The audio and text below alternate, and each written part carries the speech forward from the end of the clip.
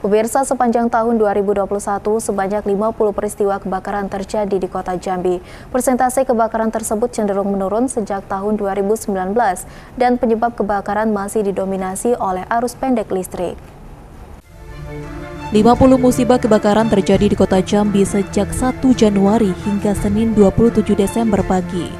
Kadis Damkar Kota Jambi Feriadi mengatakan 50 musibah tersebut didominasi kebakaran rumah yang disebabkan oleh arus pendek aliran listrik.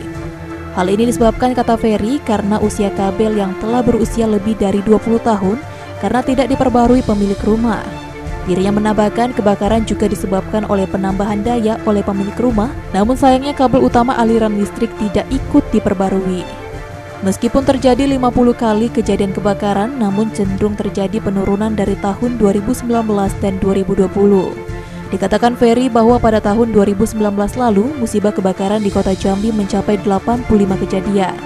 Sementara di tahun 2020 terjadi musibah kebakaran sebanyak 68 kejadian. Uh, sampai dengan pagi tadi uh, jumlah kebakaran sebanyak 50 kejadian. Uh, kalau untuk jumlah kebakaran terjadi penurunan eh, yang di tahun 2019 itu ada 85 kejadian. Kemudian di 2020 kemarin ada 68 eh, yang 20 nya ditangani oleh masyarakat yang 48 nya itu eh, kita tangani kita di atas masyarakat. Dan untuk tahun 2021 ini sudah ada 50 kejadian kebakaran Menurut Ferry, terjadinya penurunan musibah kebakaran terjadi karena kurangnya aktivitas masyarakat di luar rumah, sehingga bisa dilakukan antisipasi kebakaran rumah.